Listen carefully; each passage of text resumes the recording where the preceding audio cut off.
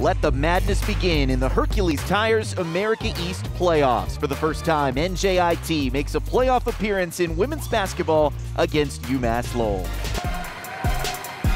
Elena Sanchez, sophomore point guard, leading the offense. Items three. That's money. Great defense here by UMass Lowell. Squire has to hurry and rolls it in.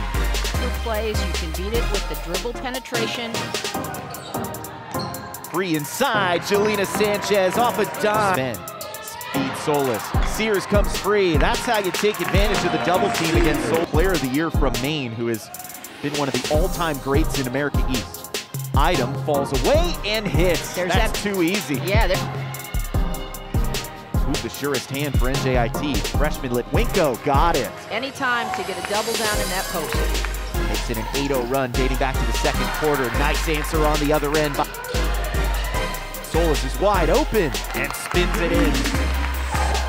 Sears with the board. And no second chance opportunities as UMass Lowell really owns the defensive glass.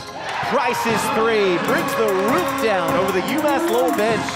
Hits Winko plays like a vet. You've got Squires, but somebody needs to step up and make a play. There's a good look inside, a good start.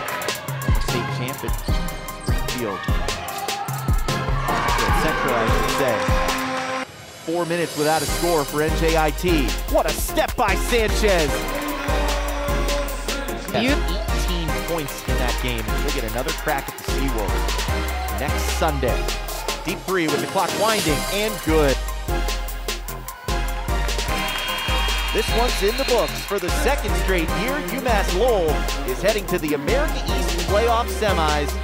It's a 72-52 win